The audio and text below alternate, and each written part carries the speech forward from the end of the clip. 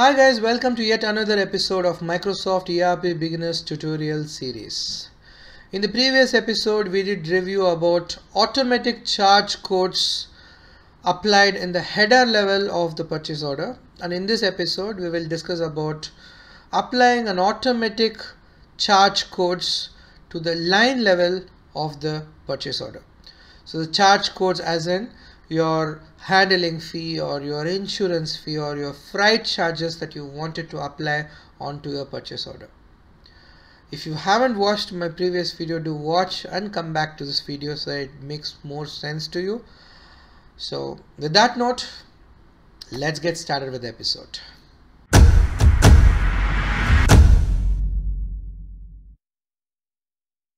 Okay, in uh, some of our previous episodes, we have already created charge codes, the freight and the handling fee um, in the procurement module. Uh, the handling fee is configured to charge back to the vendor and uh, the freight charges are configured in a way that it will be uh, uh billed to uh, I mean paid to a third party uh, transportation company. To watch my previous video for more um, explanation about them. So we've already created the charge code so in this episode, we will be using the charge code and configure a line level automatic charges. So for that, we already done with our charge code and we will be doing it for a group of item. Okay, so let me go ahead and create a item charge group to start with because I'm going to uh, set up the automatic charges for a specific vendor but for a group of item. Because I do not want to apply charges for every individual item. Maybe I want to group all the items which are having a similar handling fee together and uh, assign them to a item charge group. So let me first create an item charge group. So let's name the item charge group as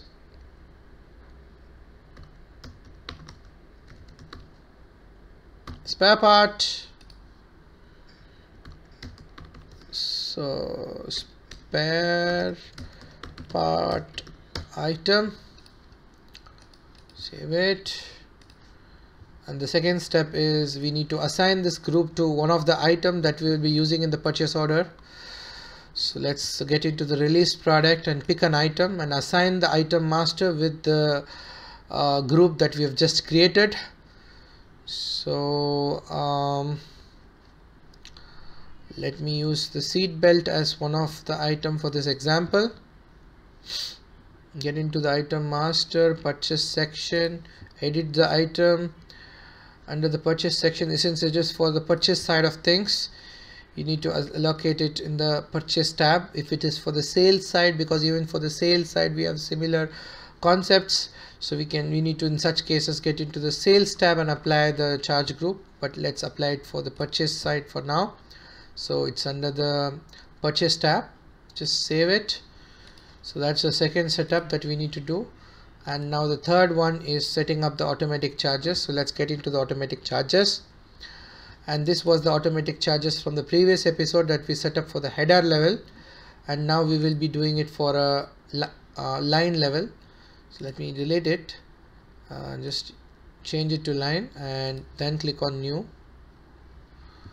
Um, once you do that you will see that the item tabs or section are enabled because for the header level you would have noticed in the previous episode they were disabled because the header level is only applicable for the header level of the purchase order and this is applicable for the line level. So you can even mention a specific item line here. So um, uh, I'm going to choose it for a specific vendor. So let me choose the vendor as um, AGS and um, uh, maybe not AGS because it's already have a charge code from our previous episode. So let's apply uh, it to us it to a wholesale part supplier and um, to the group of item. And we have already created a group and we've already assigned this group with one item. So um, so I want to choose this this group and save it. And you will get this line and it's again going to be my handling fee. Um, 10% in this case. Um, just save it. Okay. So this automatic charges will only be applicable if I create a purchase order with this vendor.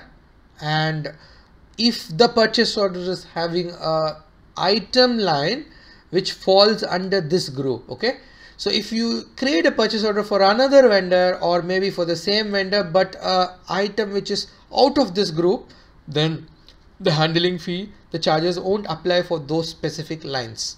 Okay? So that is the meaning of this automatic charge rule. So now let's save the rule and uh, get into the purchase get, get into the procurement and sourcing module and create a purchase order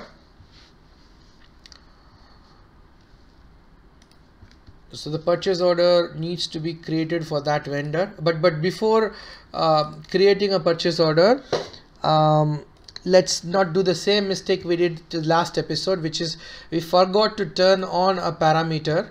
So let's first turn on a parameter which need without which the the automatic charges doesn't work which is again in the procurement and sourcing. You would have guessed it by now those who watched the previous episode. It is in the procurement and sourcing parameter under the price tab. Uh, you need to turn on the find automatic charges for lines parameter and save it. So now let's go ahead and create a purchase order and test the scenario. Um,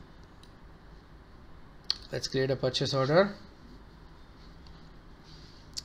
Click on new button and we need to create the purchase order for that specific vendor. So let me copy the vendor ID and paste it here. And that's the house. Let's say okay. Likewise we need to add the item with the specific group so I think uh, uh, the seat belt was the item that we used with the with the group um, spare part. So I'm, I'm choosing the same item. Save it. And this item is having hundred dollars. And let's um, now uh, see if uh, we have the charge code applied to the line level. See we have the charge code automatically applied not to the header but directly to the line. So you know you don't need to uh, manually do the allocation to a specific line. It is completely automated and it will be applied automatically to your line. Okay? But it will only be applied to those lines which are falling in the criteria of the automatic charge setup. For example if I add another line which is not a part of a spare part group um, let's say that we are um, um, let me use uh, this item. And this item is not a part of our group.